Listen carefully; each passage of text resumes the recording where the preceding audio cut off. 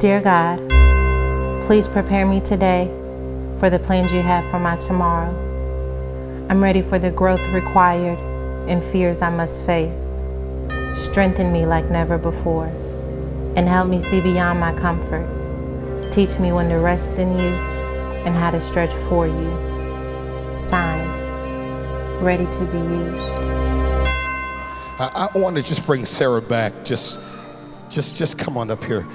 Come on up here and just, come on, let's thank God. Her testimony, her writing, her words are such a blessing. Just share with us. Sit down, sit down, sit down. Because if y'all start shouting, my voice gets higher. It's not good. Just sit down.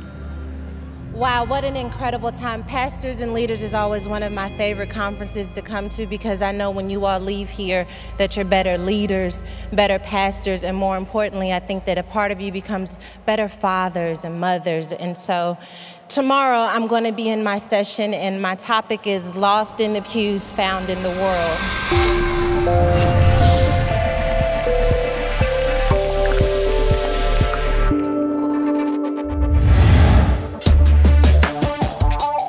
I wrote that it's difficult to accept pure love when you think you don't deserve it. There's this concept that we're trying to make people define what unconditional love is, but maybe it's not that we don't believe in it. Maybe it's just we don't believe we deserve a love that unconditional, that is broken and damaged and hurt as we have been that it would be impossible to receive a love that unconditional because we know how human we are. It's just because like my book, people are like reading my book and stuff. It's just a lot to take in. That's how people like I know, a lot it's of a people in lot. the I was like, I. I wrote it. I didn't think people were going to read it. I don't know. This one, You've come a long way. I'm proud. I'm proud of you. I, that, you know, I'm just. That's cool. Because it's, it's, yeah, it's a long way. Yeah. Well, you're in the right family to do it. I know, right? Well, you had the lion with Bishop Jakes. Now you're about to get the lioness. As a multi level communications brand, Sarah's work can be found everywhere, from bookstores to online, even on the big screen. Without further ado, I bring you Sarah Jakes.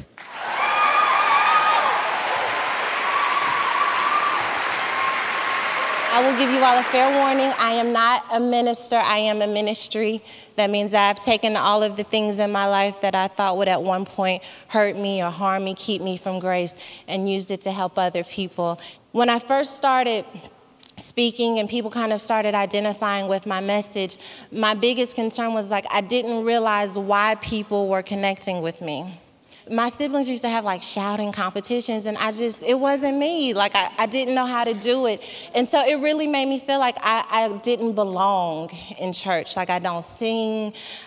The Bible was boring. I keep it real. I'm just gonna be honest with you. Like, at that age, like, the Bible wasn't that interesting to me.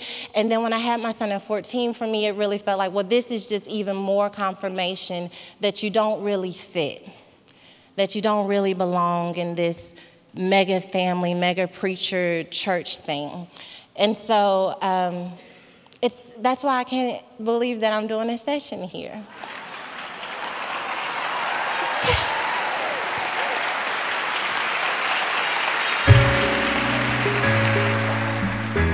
Every time I speak, I'm so nervous leading up to it that it makes me feel like I should never do it again. It makes me feel like, you know, if you have to go through all of this process, maybe you don't really deserve this opportunity.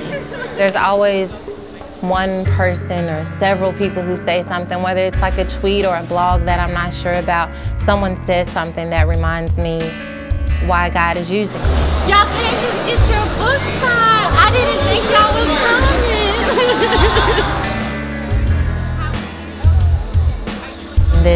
pastor comes up to me and he said, um,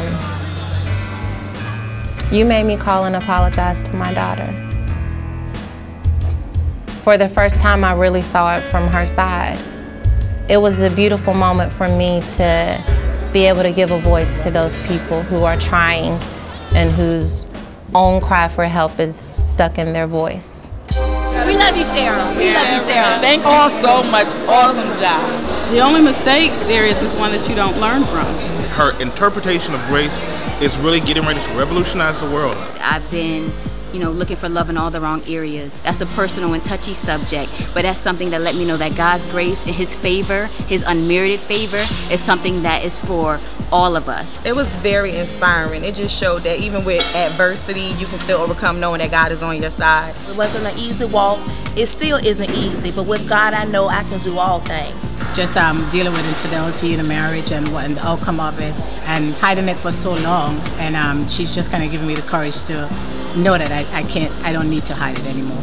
Wow, I think our life is a series of lost and found moments. And the important part is to understand that those moments are to grow us and to build perseverance. I think a personal one of mine is my husband and I battling infertility and being able to adopt our daughter.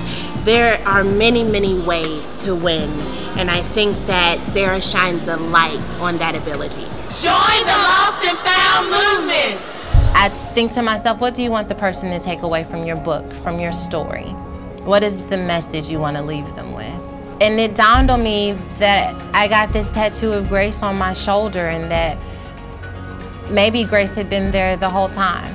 That all while I was going through my process and being lost, that grace was on my shoulder and it was so much bigger than a tattoo, but I was walking with God's grace every single day and didn't even realize it. And my task was to take that grace and to use it. And every day I tried to live a life that honors the grace that is on my shoulders. Dear God, I haven't always been the most grateful, and I've taken many things for granted. Still, you've been gracious enough to wait for me to realize you were in control. My heart is grateful for every tear that brought me to my knees, every struggle that broke my pride. Signed, Walking with Grace. They called the police on me and stuff, and I was, and the officer said, "Ma'am, what seems to be the problem here?" I said, "Well, my husband brought his girlfriend to our house," and the officer said, well, I see how that could be a problem.